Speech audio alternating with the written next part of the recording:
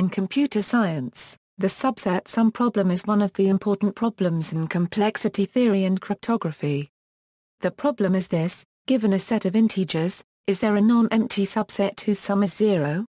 For example, given the set a 7, a 3, a 2, 5, 8, the answer is yes because the subset of 3, a 2, 5 sums to 0. The problem is NP-complete. An equivalent problem is this, given a set of integers and an integer s, does any non-empty subset sum to s? Subset sum can also be thought of as a special case of the knapsack problem. One interesting special case of subset sum is the partition problem, in which S is half of the sum of all elements in the set. Complexity The complexity of the subset sum problem can be viewed as depending on two parameters, n, the number of decision variables, and p, the precision of the problem. The complexity of the best-known algorithms is exponential in the smaller of the two parameters n and p. Thus, the problem is most difficult if n and p are of the same order. It only becomes easy if either n or p becomes very small. If n is small, then an exhaustive search for the solution is practical. If p is a small fixed number, then there are dynamic programming algorithms that can solve it exactly. Efficient algorithms for both small n and small p cases are given below. Exponential time algorithm There are several ways to solve subset sum in time exponential in n. The most novel algorithm would be to cycle through all subsets of n numbers and, for every one of them, check if the subset sums to the right number. The running time is of order O, 2 and n, since there are two n subsets and, to check each subset, we need to sum at most n elements. A better exponential time algorithm is known which runs in time O, 2n slash 2. The algorithm splits arbitrarily the n elements into two sets of n slash 2 each.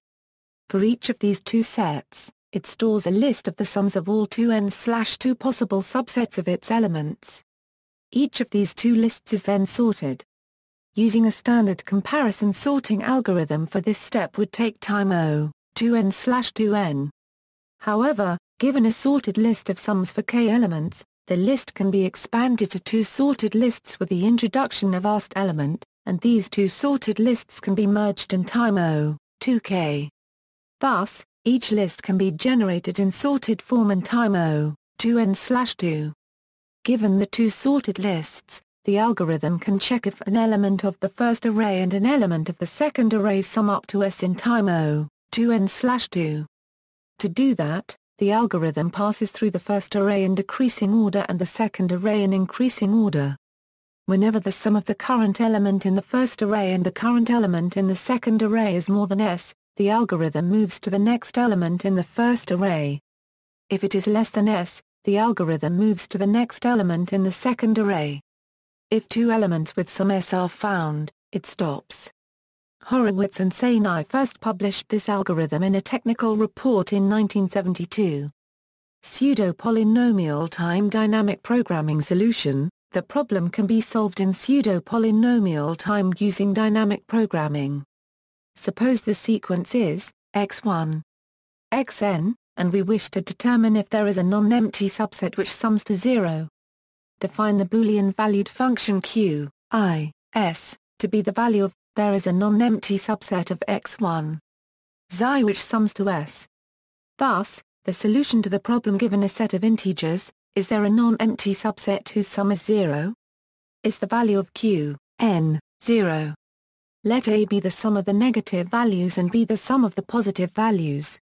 Clearly, q, i, s, equals false, if S be so these values do not need to be stored or computed.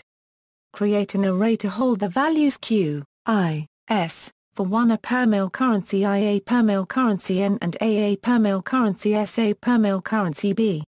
The array can now be filled in using a simple recursion. Initially, for a per mil currency S A per mil currency B, set q, 1, s, equals, where is a boolean function that returns true if x1 is equal to s, false otherwise. Then, for i equals 2, a euro, n, set, q, i, s, equals q, ia1, s, or all q, ia1, s a xi, for AA per mil currency SA per mil currency B. For each assignment, the values of Q on the right side are already known either because they were stored in the table for the previous value of I or because Q, IA1, SA xi, equals false if SA xi b therefore, the total number of arithmetic operations is O, N, BLA. For example, if all the values are O, NK, for some K, then the time required is O, NK plus 2. This algorithm is easily modified to return the subset with some 0 if there is 1. The dynamic programming solution has runtime of where in the sum we want to find in set of numbers. This solution does not count as polynomial time in complexity theory because BLA is not polynomial in the size of the problem, which is the number of bits used to represent it. This algorithm is polynomial in the values of a and b, which are exponential in their numbers of bits. For the case that each psi is positive and bounded by a fixed constant c, Pisinger found a linear time algorithm having time complexity O, NC. In 2015, Coyle Aries and Zhu found the algorithm for the subset sum problem where is the sum we need to find. Polynomial time approximate algorithm, an approximate version of the subset sum would be, given a set of n numbers x1, x2, xn and a number s, output, yes, if there is a subset that sums up to S. No, if there is no subset summing up to a number between s and s for some small c greater than 0. Any answer, if there is a subset summing up to a number between s and s but no subset summing up to s. If all numbers are non-negative, the approximate subset sum is solvable in time polynomial in n and 1 per caret. The solution for subset sum also provides the solution for the original subset sum problem in the case where the numbers are small.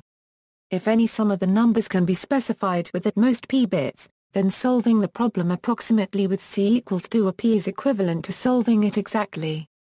Then, the polynomial time algorithm for approximate subset sum becomes an exact algorithm with running time polynomial in n and 2p. The algorithm for the approximate subset sum problem is as follows. Initialize a list S to contain one element 0.